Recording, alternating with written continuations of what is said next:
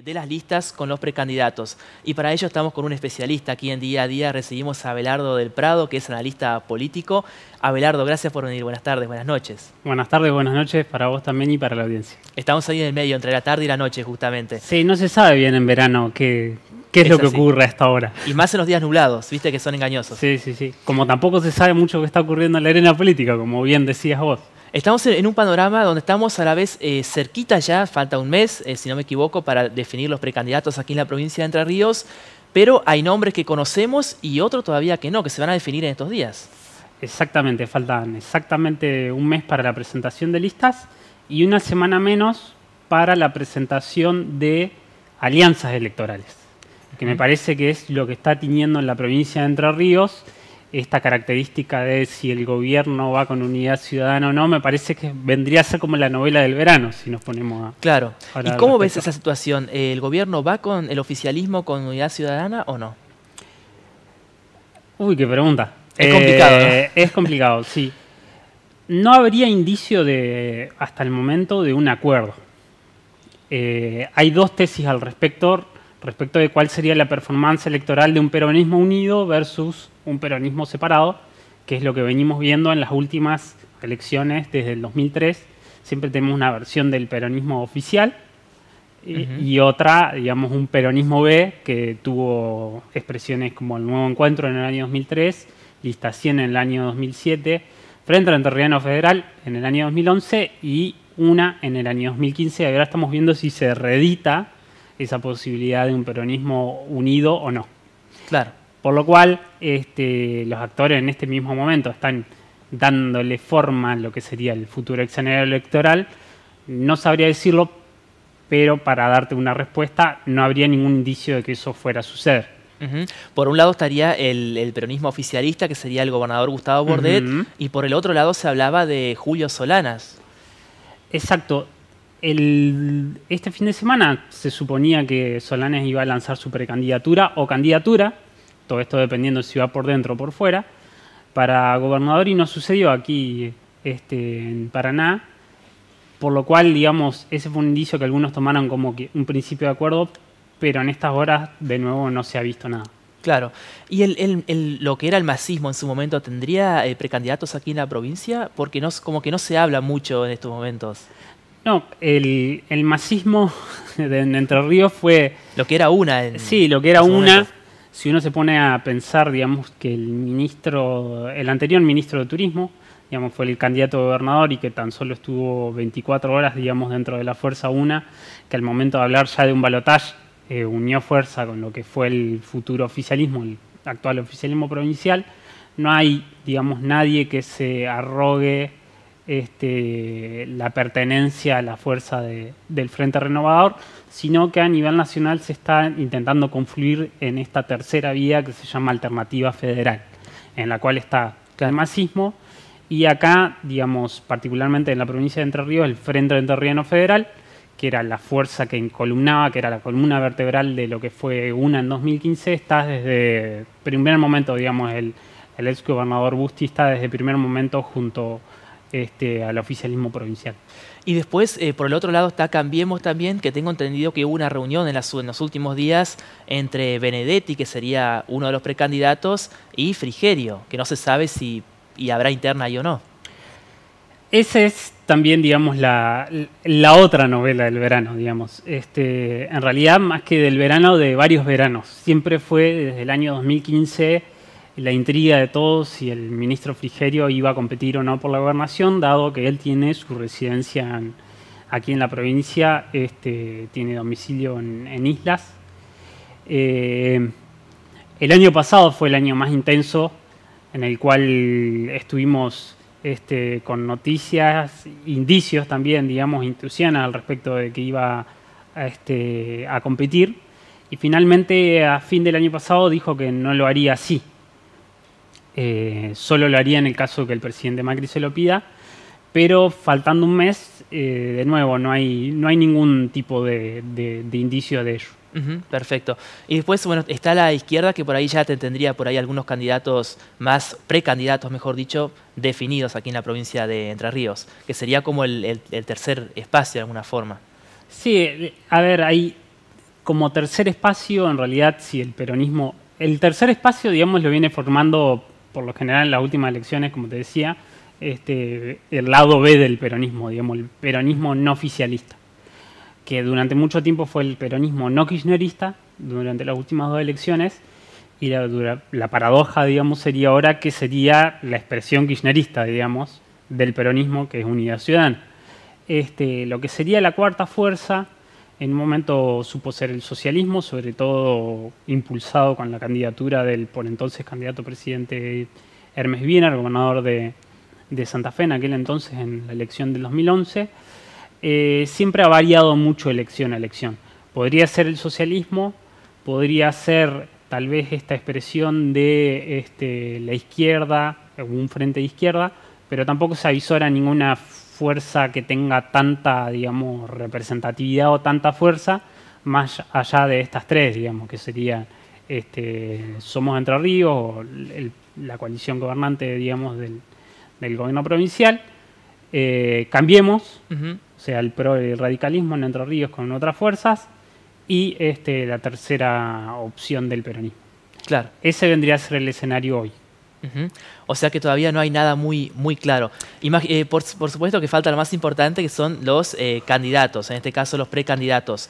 Pero ¿cómo ves el panorama una vez que estén presentados los precandidatos? ¿Crees que va a haber eh, un cambio aquí en la provincia o más o menos el panorama continuaría igual?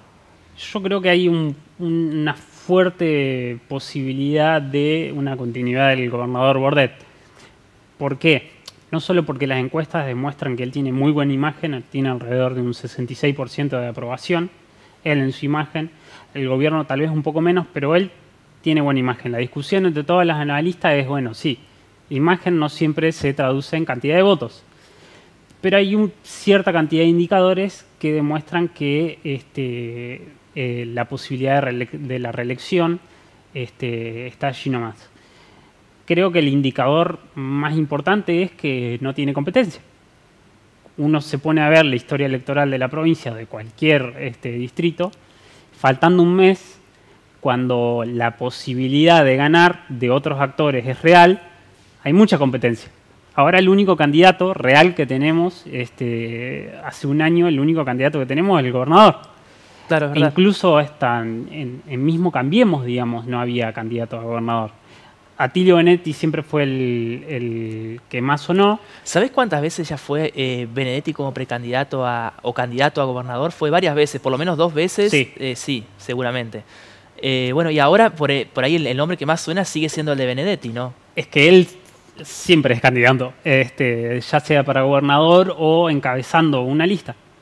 Desde el año 2009 viene encabezando listas, porque no te olvides que en el año 2013 encabezó la lista para senador nacional, la cual perdió a manos de eh, lo que todavía no era Cambiemos, que fue el senador de Angeli, el actual senador de Angeli. Este, él siempre estuvo en la lista, pero siempre a la espera de ver si el ministro Frigerio este, se lanzaba o no. Eh, y últimamente, en esta semana, sí hemos visto, digamos, algunas personas que han salido a la competencia por el espacio de Cambiemos, como se ha dicho este, Galimberti, Hein y Lacoste por las últimas horas. Pero te digo, digamos, eh, me parece que el indicio más fuerte que hay de que va a haber una, reelección del gobernador es que la competencia no es clara. Dentro del peronismo mismo, digamos, si, no habría indicios de una fuerte posibilidad de reelección, ya tendría, digamos, sus contendientes fuertes, este, y no ha sido así el mismo, digamos, hecho de este fin de semana, de que Solanas no haya alargado su competencia, decidiendo si por fuera o por dentro, este, lo marca así, sobre todo con el indicio, en el hecho más fuerte del año pasado, que fue la decisión de desnacionalizar las elecciones y tener las elecciones provinciales separadas de las nacionales. Claro, esto fue algo eh, para Bordet, digamos, fue algo positivo esto de desdoblar las elecciones si volvamos ahora al contexto nacional positivo para Bordet, positivo para la provincia, positivo para quien me estás queriendo, perdón. Para este, Bordet, o sea, porque Bordet de alguna forma fue de alguna eh, el quien propuso esto de desdoblar las elecciones. En su caso, digamos, eh, para el gobierno provincial, el oficialismo actual aquí en la provincia, ¿es algo positivo esto? es algo, digamos, algo que refuerza sus posibilidades de reelección. este, ahí hay toda una discusión que me parece que hay que dar que es este, las elecciones nacionalizadas o provincializadas. Este, hubo un intento de reforma del código electoral entero, que se utilice boleta única electrónica, que haya paridad de género, eh, boleta única de papel, perdón, y la posibilidad de que haya algún tipo de dispositivo electrónico en el, proceso electoral. Pero luego este, se dio por tierra y se dio lo que se llamó, digamos, la este, reforma electoral abreviada, que tuvo que ver con, el cambio de, la posibilidad de la fecha de, la elección y también este, de la integración de las minorías o no.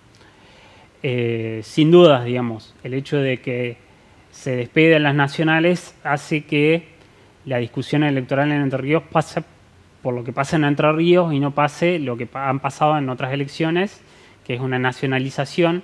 Y sobre todo creo que el gobierno provincial tomó nota del grave error que cometieron en el año este, en la elección del año 2017, que fue intentar provincializar una elección, digamos, digamos, plebiscitar la gestión provincial, cuando estaba tan polarizada la discusión en aquel entonces entre Cambiemos y el kirchnerismo.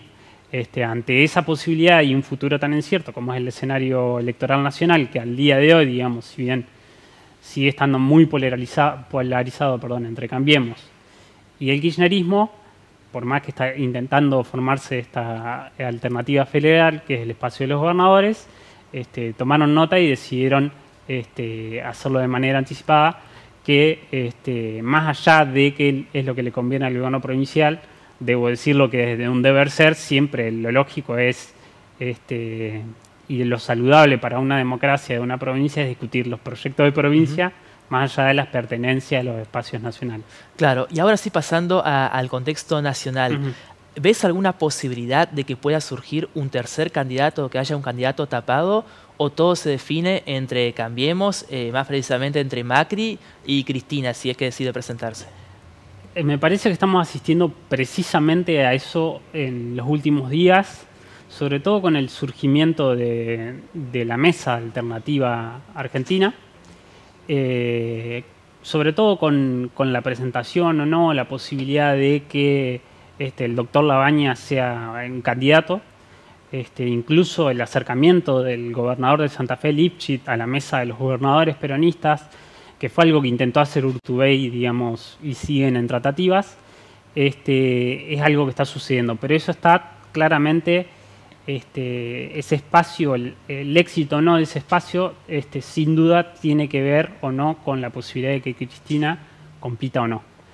Ese espacio tiene mucha posibilidad, va a ser, digamos, este, va a tener una competitividad mucho mayor en el caso de que Cristina no se, no se presente, porque si no, este, sin duda la polarización entre Cambiemos este, y el kirchnerismo no se va a poder romper es lo que se está demostrando, digamos, con el seguimiento de la opinión pública hasta el día de hoy, que sin duda es el juego al cual está este, sometiéndonos el gobierno nacional. El gobierno nacional claramente, digamos, conviene que Cristina eh, compita porque es una candidata que tiene un piso electoral muy alto, pero tiene un techo muy bajo y es este, una, una contendiente, es la contendiente ideal, digamos, para el presidente Macri y para las aspiraciones del gobierno nacional de una reelección. Claro. Abelardo, es un tema realmente apasionante que da para hablar muchísimo. La última pregunta es, eh, por ejemplo, si, si, bien de aquí a, octubre todo puede cambiar muchísimo en este país, más que nada, eh, pero ¿ves posibilidad de que Macri pueda ser reelecto? Porque uno cuando va a la calle, la mayoría de la gente uno escucha voces críticas contra el gobierno. Sin embargo, hasta el momento las encuestas parecen no indicar lo mismo. Sí, digamos, la, crisis económica ha tenido, digamos, impacto en la calle, uno lo nota, digamos, hablándolo con cualquiera, digamos, saliendo aquí a la puerta, digamos, este, viendo los negocios que cierran, digamos, eh, los ánimos de la gente y las expectativas, todos, digamos, los estudios demuestran que ha bajado el nivel de confianza sobre el gobierno, pero puntualmente respecto de tu pregunta, yo creo que sí, que es muy, muy, muy cierta la posibilidad de una reelección del gobierno nacional en el escenario que tenemos hoy, digamos, que es el gobierno nacional que sigue teniendo un nivel de aceptación de un 35%, a nivel nacional sigue teniendo ese nivel de aprobación, este, y, es un núcleo muy duro, o sea que eso se traduce literalmente, digamos, en intención de voto, eh, contra este, una posición muy este, desperdigada y una contendiente principal, que es Cristina Fernández de Kirchner, con una imagen negativa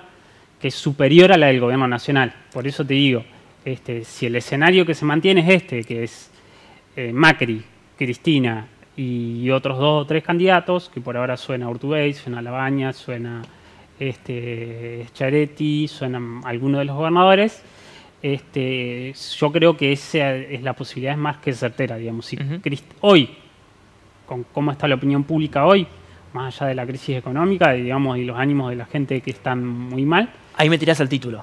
Eh, hoy gana Macri. hoy, con este escenario electoral, no ha sido conformado, sino que se, también, de nuevo, así como falta un mes para eh, que se conforme el escenario electoral entrerriano, el escenario electoral nacional recién se va a formar en junio. Hoy, con, este, con estos dos espacios compitiendo, ganaría el presidente Macri y probablemente en primera vuelta llegaría a los 40 puntos y 10 puntos de diferencia. Perfecto. Abelardo, te vamos a seguir convocando seguramente a lo largo del año. Muchas gracias por venir. Muchas gracias a ustedes y espero, sí, eh, poder ver cómo evoluciona la opinión pública, porque es un título fuerte, lo sé, pero falta que evolucione mucho, como decís vos, cambia todo mucho en Argentina. Por supuesto. Ahí pasaba entonces en día a día Abelardo del Prado, analista político, analizando todo lo que se viene en cuanto a las elecciones a nivel provincial y nacional. Breve pausa y ya volvemos con más información.